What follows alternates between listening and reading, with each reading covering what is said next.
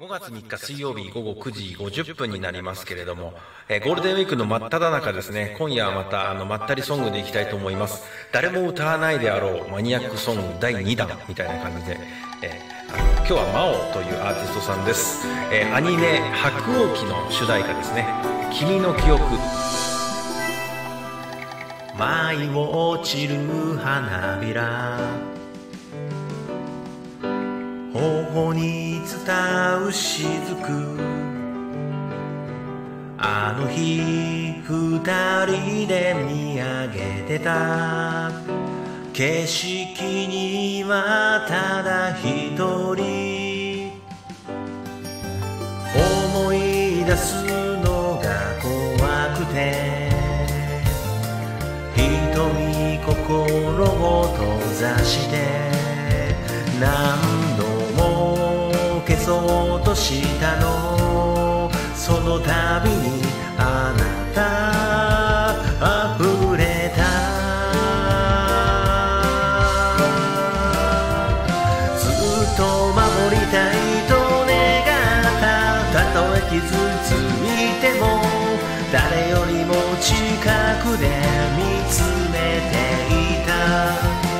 抱きしめたぬくもりはまだこの手の中に忘れないいくつの季節を重ねてもあなたを思ってるあの落ち着く曲なんですよね。この「魔王君の記憶」という曲ですけれども。あのー、なんでねこの白鸚記知ったかっつうとまあパチンコなんですけどね。すいませんネタバレしちゃいました。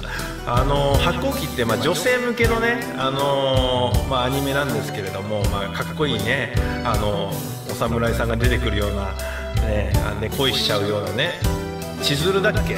確か千鶴が、まあ、主人公なのかな、うん、ちょっとしか知らないんですけどもね、うん、あのまあパチンコでね1日6万買ったっていう。そういういい思い出があるんで「あの白鸚記」っていうアニメをちょっと覚えてしまったんですけれども。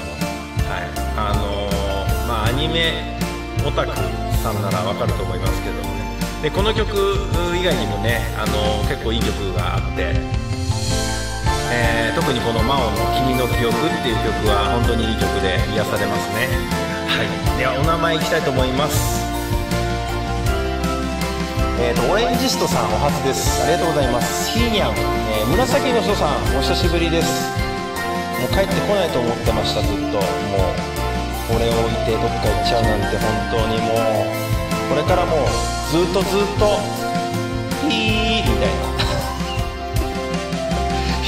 姫ドレスさんせつさんりゅうさんつくねちゃん関田さんえー、ひまりママトムトムにゃんこウィリスさんみけちゃん RA ちゃんアレルさんのいちゃんあかちんトスちゃんエロチみりんぱさんえー、ちかたんななママ皆さんありがとうございました。えー、日本最長の吊り橋三島スカイウォーク静岡にあるんですけどね、えー、昨日からかな？今日からかな、えー、ナイトスカイウォークっていうのがやってますね。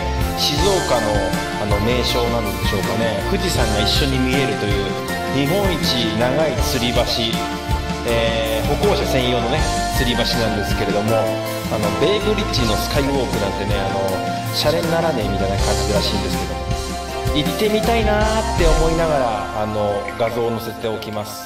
ゴールデンウィーク行きたいです。